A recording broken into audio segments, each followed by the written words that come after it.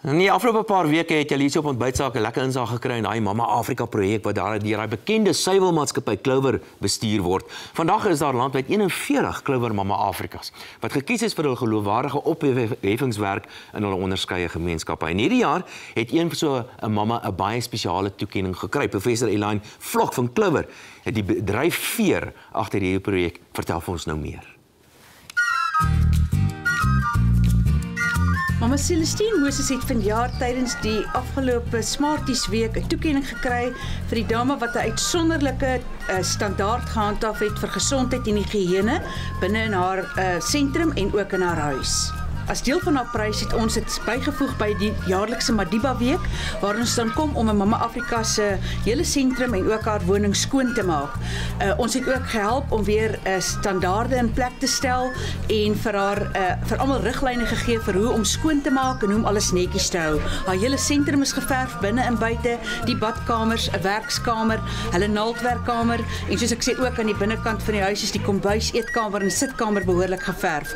Uh, ons het ook haar uh, hoeveelheid benodigdhede aangekoop weer vir die onthaalgedeelte wat sy doen want sy doen groot onthale vir troues, vir begrafnisse, vir gewone kerkdienste, vir verjaarsdae ensovoorts. So uh, alles is uiteindelik opgegradeer um, hier in Ashbury en ek dink mamma uh, Celestine gaan heerlik funksies kan hou en weer haar sentrum kan uitverhuur om so inkomste te kan verdien um, en beter werk te kan doen in haar gemeenskap.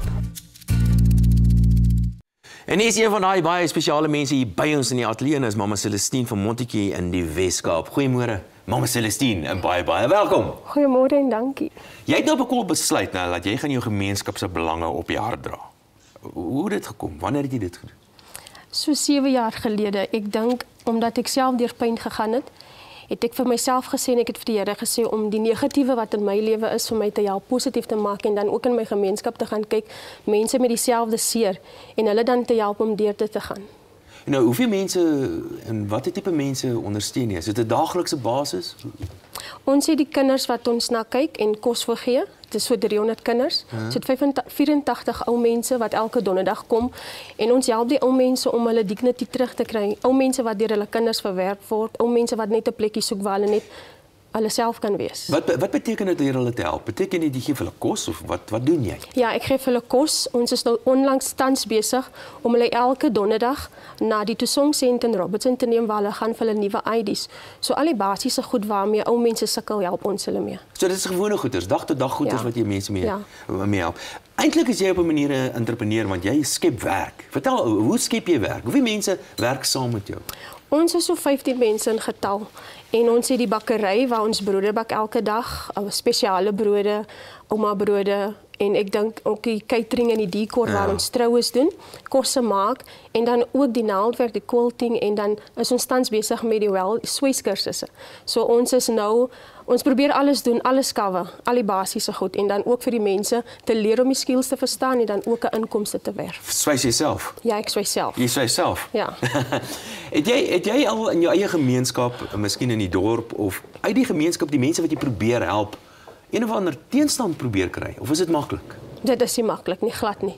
Nie om in jou gemeenskap waar uit jy kom 'n verskil te maak is glad nie, dis harde werk.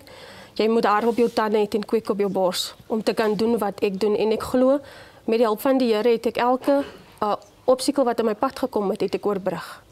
Word dit word die werk minder? Is daar mense wat jy help en dan gaan hulle daarna self aan of word die werk net meer?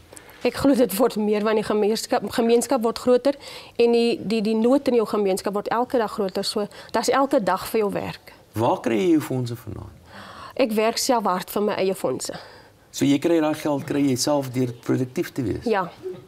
Ek moet vir jou sê nou, ek het 'n groot bewondering vir mense soos jy. Ek wil graag namens ons ontbytsake. Dis nou Willow Creek, een van ons borgers hierso. Maar aanhou my voorpot is nie lekker nie, verskoon hierdie een. Maar ek wil sê baie baie dankie dat jy vanoggend by ons het draai gemaak het en ek wil vir jou alles van die beste toewens van die wonderlike werk wat jy doen en baie geluk met hierdie toekenning wat jy gekry het. Baie dankie. Baie dankie vir. Dit is Mamma Celestine Moses van Ashbury in Montetjie, het ek dit reg gesê? Yes. Dankie dat jy vanoggend by ons het draai gemaak het.